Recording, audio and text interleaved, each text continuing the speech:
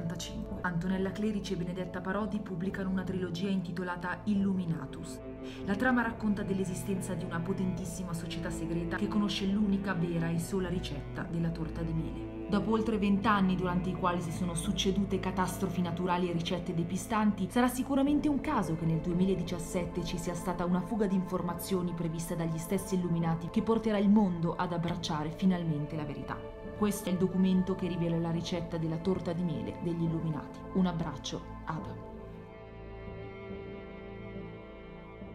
Ciao amici e bentrovati ad una nuova puntata di Cotto e buttato nel cesso. Oggi ci occuperemo della ricetta più sottovalutata della storia. Mi sono stancata di ordinare una torta di miele e di vedermi arrivare un plum cake disidratato. Una ciambella talmente asciutta che per deglutirla te devi bere pure l'acqua del cesso. Diciamo no alle torte di miele ariose. Questa battaglia noi la combatteremo con questa ricetta. Carrellata di ingredienti. 125 g di zucchero. Un cucno di miele pizzico di sale, 3 mele redette in rapida successione, succo e scorza di un limone, 200 ml di latte, vanillina, cannella, lievito pane degli angeli, 2 ova, 60 g di burro, 160 g di farina.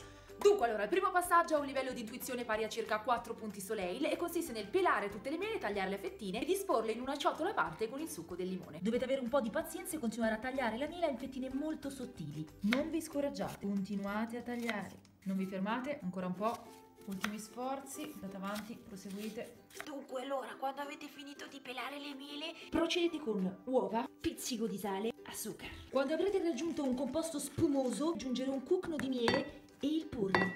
Giungerete ad una composizione finale di un micro clip al secondo. Aggiungete il latte, la farina e il lievito setacciati. A questa sbobba così ottenuta potrete aggiungere la cannella a piacere, ma mi piace tanta, e la vanillina e la buccia di limone grattugiato. Giunti a questo punto, come disse Alfonso Signorini, alea iacta est, non ci resta che versare il composto ottenuto nelle mele. Teglia imburrata infarinata, forno 180 gradi per 50-60 minuti e via!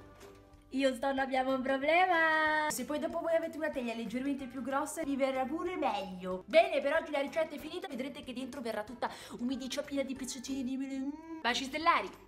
Sta bruciando. Dai, su, che California Bakery mi spiccia a casa.